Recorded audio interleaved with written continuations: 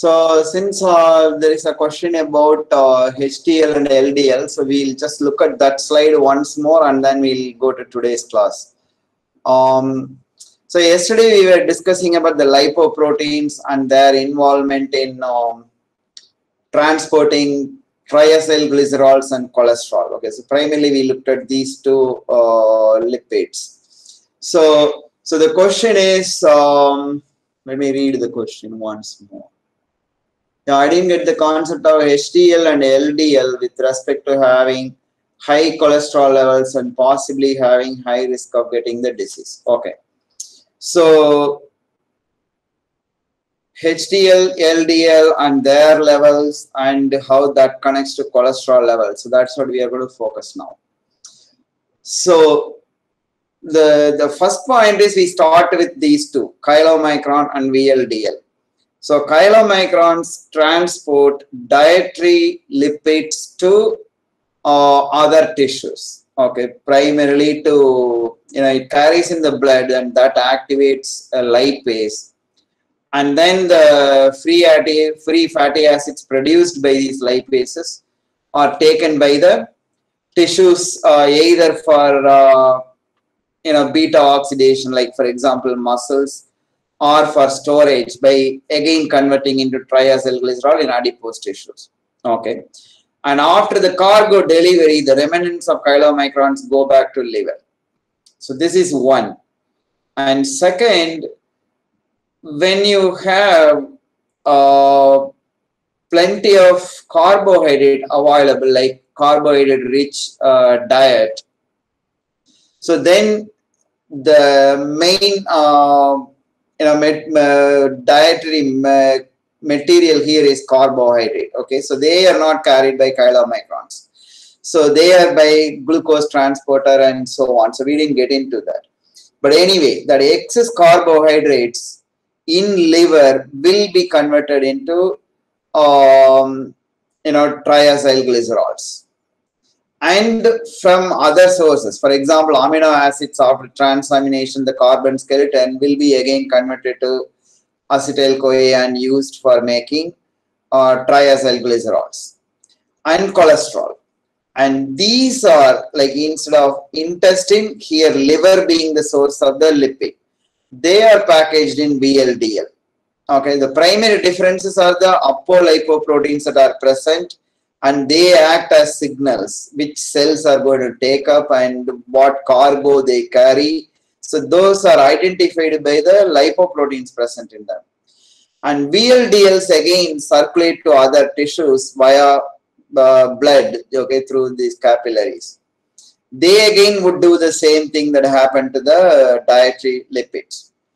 And from the VLDL, when triacylglycerols are removed, then the density slightly increases. From very low density lipoprotein, they become LDL. Okay. So the LDL is essentially rich in cholesterol and that should be taken up and used for storage or for energy production by other tissues, extrahepatic tissues. Okay. So their level in the higher level in the blood means higher levels of cholesterol that actually needs to be used. And if that is not used, then that is what deposits on the blood capillaries, blood vessels, leading to a disease called atherosclerosis. Okay, so the I think that spelling is coming in the next uh, slide. If not, I'll write it at that point.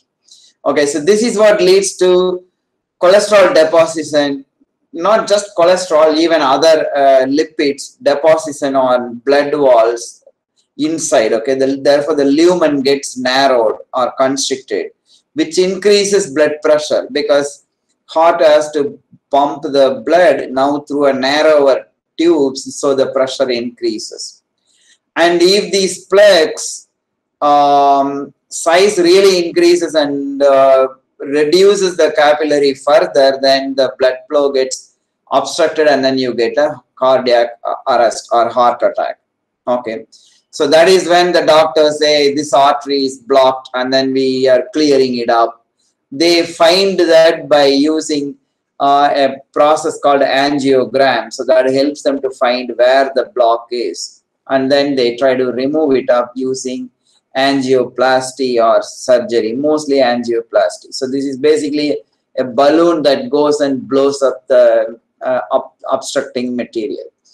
So this is the connection of LDL to the disease. Okay, LDL, higher level of LDL indicates higher level of cholesterol in the blood that has no place there. It should actually been taken up by the tissues and used up.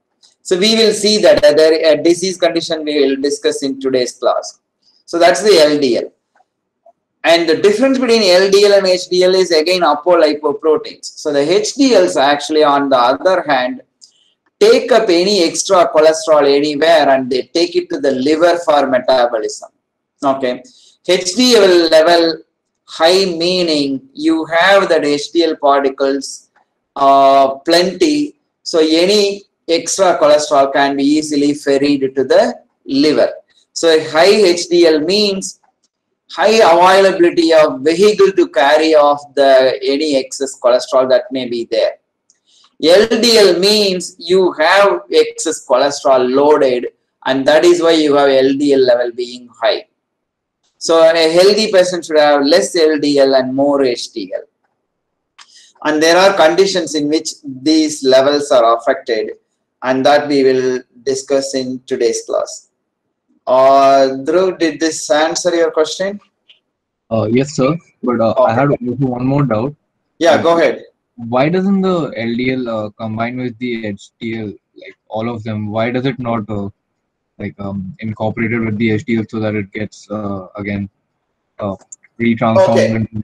So yeah. these different apoproteins have different functions. Okay, so they have different uh, receptors, and then therefore they have different functions. So HDL on the surface can combine cholesterol and triacylglycerol transported by specific transporters present on the cell membranes. Okay. And LDLs don't do that. On the other hand, LDLs are actually taken up by the cells uh, by the binding of the apolipoprotein on LDL by the LDL receptors on the extrahepatic tissues. So that's uh, going to be a main discussion today. So we'll have a dedicated slide for that. So it is basically the specificity and therefore the functional you know delegation. So they, they, they have different functions to do. HDL's job is to pick up cholesterol and transport to liver. LDL essentially after the triacylglycerol is taken away from LDL, sorry VLDL, whatever remaining that is primarily cholesterol enriched version is what is LDL and that is to be taken up by the tissues. So they do different jobs and that is primarily coming from the different like apolipoproteins. Okay, so it's basically functional separation. Okay, so today we are going to focus on uh, cholesterol biosynthesis and a little bit discussion on uh, disease condition and then what are the other molecules synthesized from cholesterol and then we will begin our discussion on hormonal control of uh, metabolism. So for those of you who are interested in metabolism related diseases, uh, you know, that is actually an entirely separate course. You know, it's, uh, th there are books, uh, diseases of metabolism of the size as big as a Campbell's biology book, okay, dedicated only to those. Because in each one of the pathways you can have uh, defective enzymes and therefore different metabolites accumulate. And each metabolite accumulation or the deficiency of the product uh, causes different diseases. So we did see some when we were discussing about um, lipids in the molecules of life uh, section.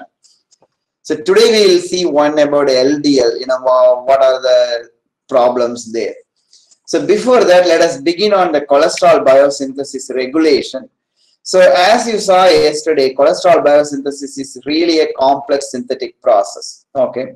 So we skipped the last 20 steps, simply saying that, um, you know, methyl group shuffling and um, uh, removal removal of methyl groups and shuffling of the double bonds and so on like that we kind of glossed over it.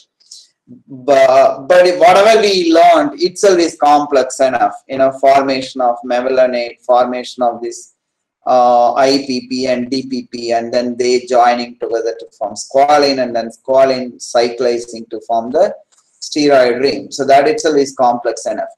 So you don't want to do all this synthesis um, you know expending a lot of NADPH and ATP uh, unnecessarily. So only when cholesterol is required as a precursor or cholesterol is required for new membrane synthesis, uh, do you want to make cholesterol? So, so cholesterol biosynthesis is regulated uh, at a couple of levels and both of that we will briefly touch upon. And this was worked out by the same two people um, whom we discussed yesterday, uh, their work about LDL uptake, you know, LDL endocytosis uh, we saw, uh, you know, Brown and Goldstein. So they were the ones who identified these SREBPs and uh, SCAP and so on. So we'll briefly go through that. So these are two proteins, you know, sterol response regulatory element binding protein, SREBP. Okay, so this is the main regulatory molecule. So it has an integral membrane domain and that is anchored on the endoplasmic reticulum. Okay, so this green line that you see here. So its N-terminal part, which is in, you know, not on part of the membrane, this is what is the regulatory domain. And this is in complex with another protein called SREBP cleavage activating protein or SCAP when these two together are anchored on the endoplasmic reticulum, they are inactive. Okay. And this SCAP is the one that senses cholesterol. So, you know, sense cholesterol. So it binds cholesterol essentially. So when you have um, cholesterol, then uh, the when uh, scap is bound with cholesterol when you have high cholesterol in the cytoplasm then this is going to be bound with cholesterol and that leads to a conformation that keeps them on the endoplasmic reticulum presumably involving another protein that probably retains these two on the endoplasmic reticulum okay but on the other hand if the cholesterol level is low and the scap is unbound with the cholesterol, then that releases these two from being on the endoplasmic reticulum and they migrate to Golgi. Okay.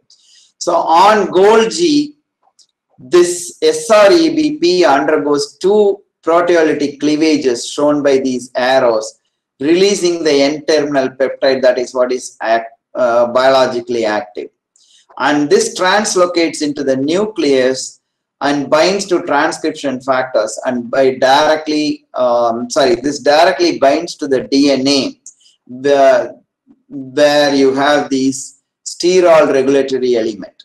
These are DNA specific DNA sequences on, on upstream of the coding sequence of the cholesterol biosynthetic enzymes. So essentially promoter region of those in, uh, genes. It binds there and activates transcription of those genes and ultimately um, by translation you are going to have the biosynthetic enzymes that then catalyze the biosynthesis of cholesterol. So when you have less cholesterol then cholesterol biosynthesis is promoted by activating transcription of the genes that encode the enzymes involved in cholesterol biosynthesis. So this is how they regulate. So I told you at the beginning when you have plenty of cholesterol, then this shuts off. Okay, scap binds to it and it is retained on the ER. And as long as they are on ER, they don't undergo, SREBP does not undergo uh, proteolytic cleavage. And this pathway is very fine controlled because the this cleaved N-terminal active version in the nucleus is very short-lived. It continuously gets proteolytically cleaved so only as long as SCAP is, um, you know, not bound with cholesterol, then only you have this N-terminal portion available. And this N-terminal portion should be continuously made. This process, these two arrows must continuously be happening. Then only the gene transcription will be going on because this molecule gets constantly degraded. Okay, so that is how this is regulated. So this is one mechanism of uh, regulation of cholesterol biosynthesis. So the other one is somewhat familiar to us. So where you have um, covalent modification by phosphorylation. Okay, so the phosphorylated form is um, inactive and the dephosphorylated form is active, just like we saw acetyl-CoA carboxylase, okay, for the fatty acid biosynthesis. So, so the enzyme that is subject to this, such a regulation is HMG-CoA reductase. So yesterday I told you this is the one that catalyzes the committed step in cholesterol biosynthesis, uh, in, in general steroid biosynthesis, that is the formation of mevalonate. Okay. So this enzyme is uh, dephosphorylated when you have insulin signal. So insulin will be high when you have glucose high. Okay. So when you have high level of glucose, you want to take up the glucose and convert into storage version that is cholesterol, uh, triacylglycerol, etc. So insulin by stimulating ACC carboxylase, sorry, AC carboxylase, acetyl-CoA carboxylase is going to stimulate free fatty acid biosynthesis and ultimately triacylglycerol. In addition, by stimulating HMG-CoA reductase, by dephosphorylating this enzyme, it stimulates cholesterol biosynthesis as well. So essentially, glucose is being taken up and the anabolic reactions of these biosynthesis of lipids are stimulated. Okay.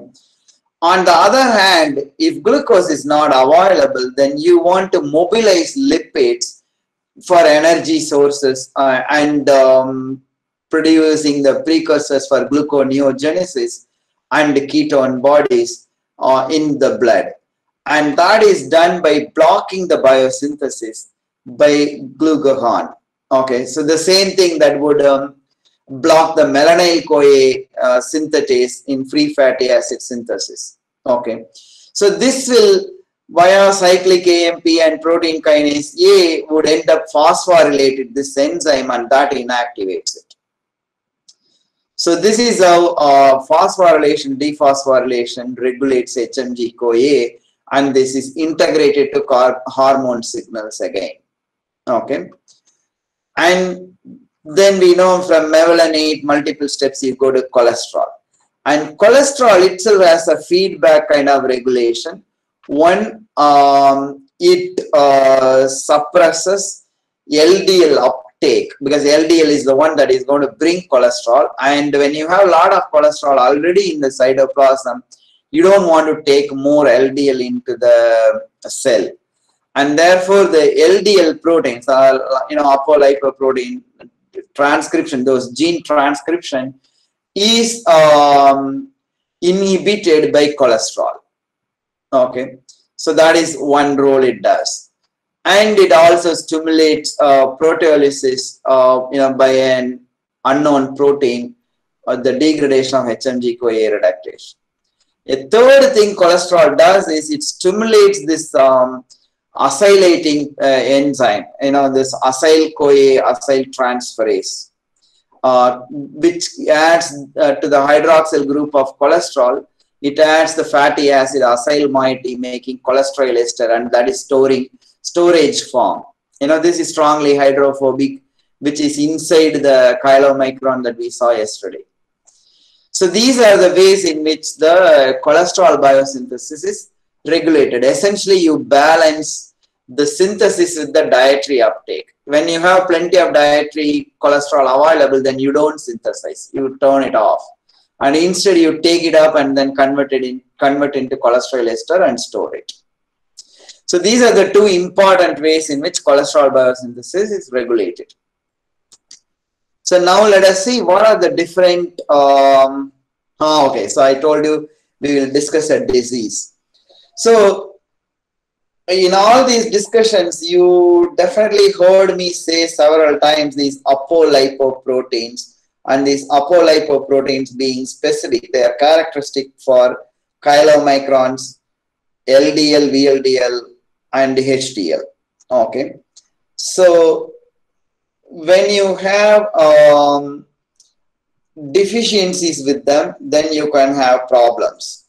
And another thing is, yesterday we saw a cartoon, probably the last slide, uh, where I uh, showed you that this LDL is taken up by endocytosis and for that the apolipoprotein of LDL binds to specific receptors on the cell surface and binding of the LDL to its receptor leads to endocytosis and the LDL gets taken into the cytoplasm in the form of endosomes which fuse to lysosome. So now if you have defects in LDL receptor, like for example, due to a genetic condition, like you have a mutation, as a result, the LDL receptor, the protein produced from such a defective gene, probably is defective in binding LDL. And there is a known such a disease condition, genetically inherited disease, and that is called familial hypercholesterolemia. Okay, familial means usually refers to runs in the family, meaning genetically inherited disease. In other words, inborn error, okay, meaning the defect is in the gene. And when you have a defect in LDL receptor and where LDL is not taken up by the cells, then LDL accumulates in the blood and you have then cholesterol also, you know, in the blood. So when uh, when LDL is not taken up, then what will happen? Two things. One, dietary cholesterol accumulates in the blood in the form of LDL. And second, because LDL is not coming into the cytoplasm, this uh, cartoon here, uh, there is no uh, LDL coming in and therefore the assumption by the cell will be, oh, we need to make cholesterol. There is not enough cholesterol. So the cholesterol biosynthesis gets stimulated and then you make cholesterol um, in the cytoplasm as well. So due to this, you have really excess cholesterol and that's why it is called hypercholesterolemia. This emia sound usually refers to in blood. Something, you know, hypoglycemia, meaning glucose level in blood is low. Anemia, you know, iron is less in blood. Ischemia, low oxygen in blood. So this emia refers to something's level in blood. That's what it means. So here hypercholesterolemia means cholesterol level being very high in blood. That's what this term means. And in such a situation, what you want to do is you want to intervene therapeutically blocking this enzyme. Therefore, you don't make cholesterol. Okay.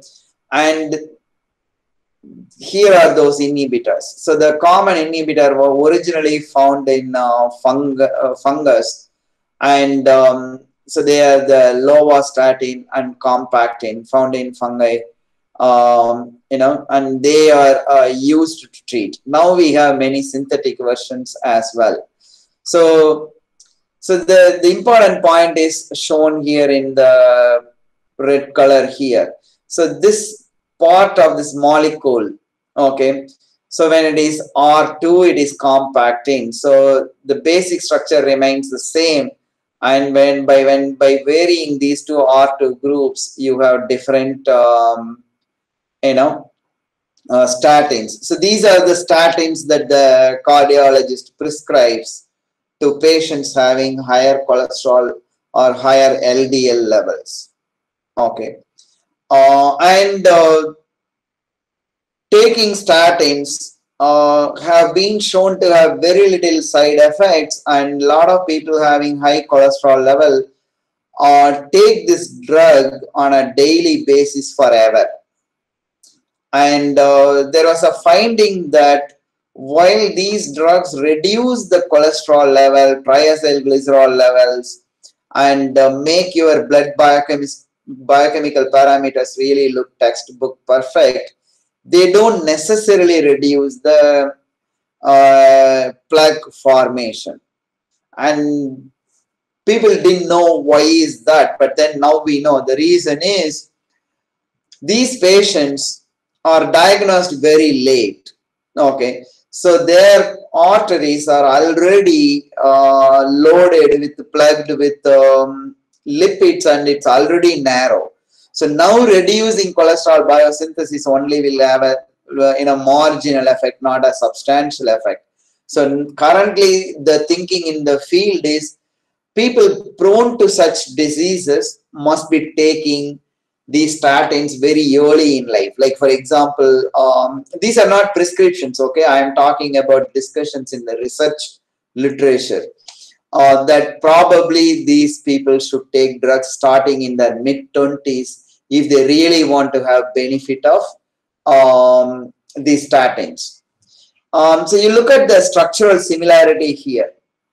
So the, these molecules, as we learned in our enzyme inhibition, they function as competitive inhibitors, meaning they compete with the mevalonate.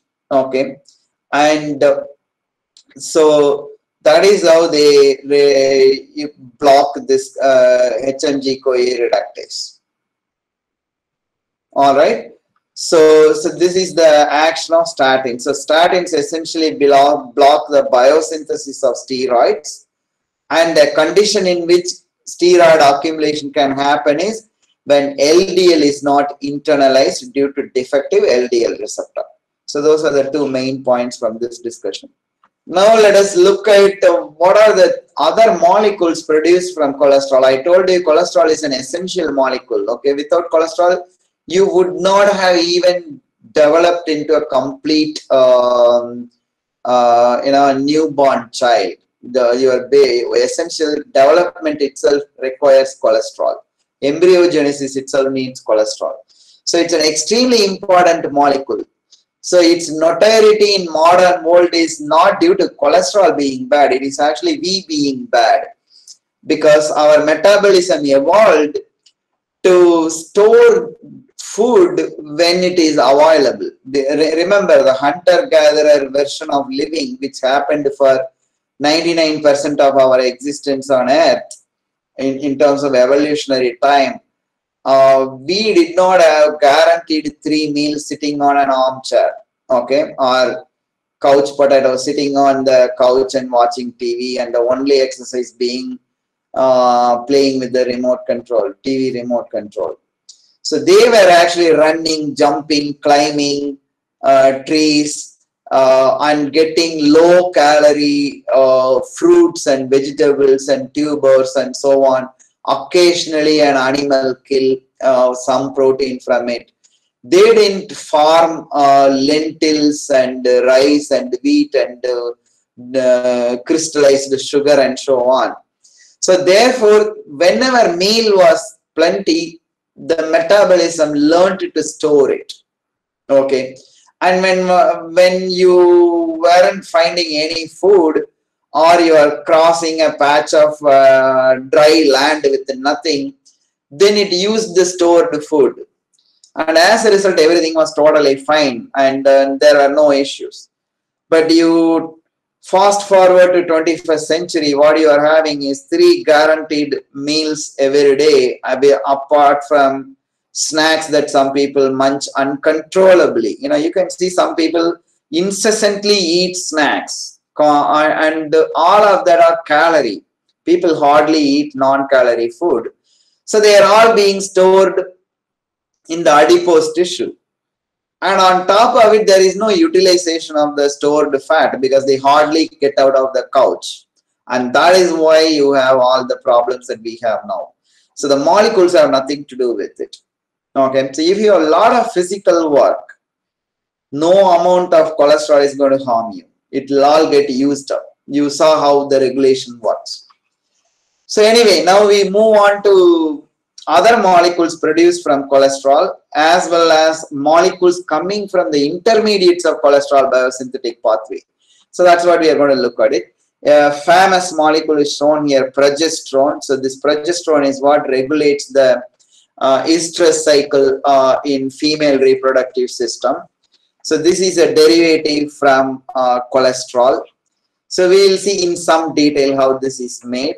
So cholesterol, an intermediate, important intermediate pregnenolone. This is the one from which the uh, horm steroid hormones are produced and the pregnenolone to progesterone and from progesterone you get in um, adrenal gland in adrenal cortex you have two hormones uh, glucocorticoids which regulate glucose level and suppresses immune system.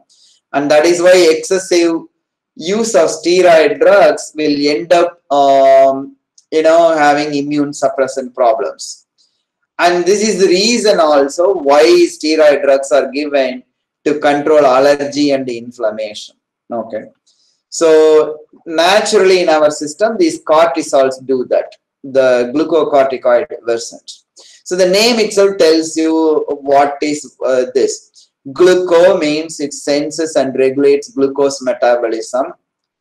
Cortico meaning it is produced by adrenal cortex. Oid refers to steroid. Okay. So it's a steroid produced by adrenal cortex functions in regulating carbohydrate metabolism okay so that's the name uh, uh, that, that's what you get from the name and this name and another adrenal um, cortex steroid hormone is this corticosterone version mineralocorticoids so these mineralocorticoids produce one of the important mineralocorticoid is aldosterone.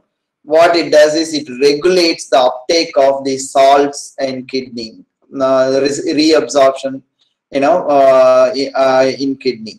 So therefore, this hormone regulates electrolyte balance, which is again very critical. Okay. So these are important hormones. And you need to remember the amount of cholesterol needed to produce these steroid hormones is extremely low because these hormones act at extremely low concentrations. So the cholesterol flowing through this pathway is really negligible compared to the cholesterol that goes to membrane or in bile acids and bile salt production. And the second set of hormones. Okay this is the adrenal hormone. I'm calling these two together as one. And the second one are the um, uh, hormones produced by the gonads. Okay in um, the first intermediate is testosterone and that is converted in estradiol in ovary. And testosterone in males and estradiol in females act as the sexual hormones. And these influence the secondary sexual characteristics. And also they are also along with progesterone is involved in regulation of female reproductive cycle so so therefore the steroid biosynthesis comes from uh, so steroid hormone biosynthesis uh, are derived from cholesterol as the precursor. And how are they produced from cholesterol? That we see in the next slide. Oops. Ah yeah here. Um, so essentially this side chain is removed and that is removed by an interesting biochemistry. Okay, so two adjacent carbon, this 20 and 22, get oxygenated, okay, by enzymes called mixed function oxidases. And these are cytochrome P450 dependent enzymes and I, we need not go into the details of these, uh, you know, electron transfer proteins. So you forget about it. All you need to remember is mixed function oxidases are involved in oxygenating adjacent carbons. Okay. And you get these two hydroxyl groups and then desmolase, the next enzyme, ends up cleaving this bond, generating a carbonyl group. Okay. So this is the primary reaction um, involved in the formation of all the steroid hormones, the side chain cleavage. Then you have uh, additional steps where the other uh, carbon atoms may be oxygenated, making hydroxyl groups. So, where which hydroxyl group depends on which hormone you are making, and that detail we need not worry for this introductory class. If you remember this, that is steroid hormones are formed by side chain cleavage and how the side chain cleavage happens and this point that um, adjacent carbons are oxygenated. That is they add an oxygen to make an hydroxyl group by a class of enzymes called mixed function oxidases. And such enzymes are involved in later uh, oxygenation steps as well in the pregnenolone uh, precursor for the other hormones. Okay, so this is uh, starting from cholesterol. Now, I told you the intermediates in the cholesterol biosynthetic pathway also serve as precursors to make other molecules. And that is in this slide. Okay, there's a whole lot of molecules are made depending on what kind of organism you are. Like, for example, this isopentenyl pyrophosphate, this is the active isoprene group I told you, right, yesterday and from that molecule you make all of this. Let us um, start somewhere familiar. We'll start here. So the isoprene isoprene themselves are active molecules. These quinones that we saw ubiquinone and in plants plastoquinone and these are electron carrier proteins. They are synthesized from this. Dolichols we saw that they carry um, uh, carbohydrates for making uh, lipopolysaccharides on the um, membrane. So the they anchor on the membrane, help in transfer of groups from one molecule to the other on the membranes. So, so we saw that. And uh, phytol chain in chlorophyll. So we saw phytol in chlorophyll. So there um, that biosynthesis, all long chains where you have isoprene, uh, the, the 2-methyl butadiene portion. So that is this portion um, is repetitively involved in biosynthesis of those rubber and cholesterol itself. Then we learned from cholesterol, steroids, bile acids, and vitamin D. So this we have already learned. Then vitamin A, that again has a long chain. Vitamin E related to dolichols, you know, that it's an antioxidant on the membrane. Vitamin K involved in blood clotting. Carotenoids, we saw, you know, mm, uh, the accessory pigments in um, chloroplast, in the light harvesting antenna.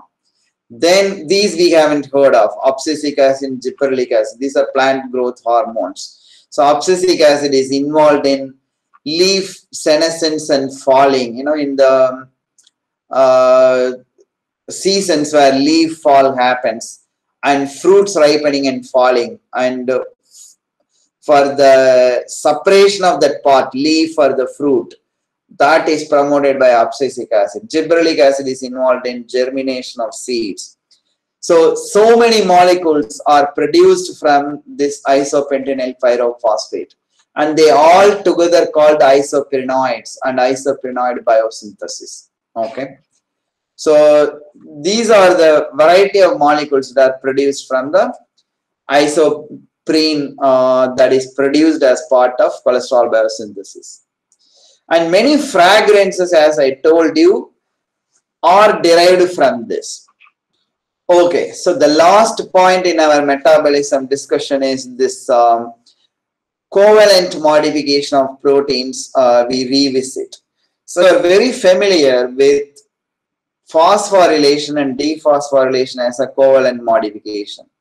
You have also seen here and there AMP being uh, attached to an enzyme and that becomes an active. Or you have also seen, uh, what else you have seen on the way I'm trying to recollect primarily phosphorylation, dephosphorylation. And uh, we have seen this UDP, CDP attachments in activating, but I didn't discuss that in detail. So anyway, for sure you remember the phosphorylation, dephosphorylation being a regulatory covalent modification to enzymes. Similarly, there are other groups that can be added. One of them is uh, isoprene group addition, okay, to proteins, covalent attachment, and that is called prenylation. And this can be sometimes a farnesyl group attachment, so that is called prenylation as well. Um, if you want to be very specific, farnesylation, and sometimes it is geranyl geranyl group attachment. So, you know, geranyl is IPP DPP joining is geranyl group, and then you have uh, another IPP that became farnesyl. But instead, if you have two geranyl group joining, that gives you this 20 carbon geranyl geranyl group. So these are hydrophobic molecules. Okay, so they help in anchoring some of the proteins to cell membranes, and that often is important for regulating their biological activity. So the membrane bound form will have an activity, or sometimes it is sequestered on the membrane and taken away from activity. And those sort of regulation is done by covalent addition of these prenyl groups. So that is prenylation. So now you will not be able to think cholesterol in a bad way, okay, after hearing all of this.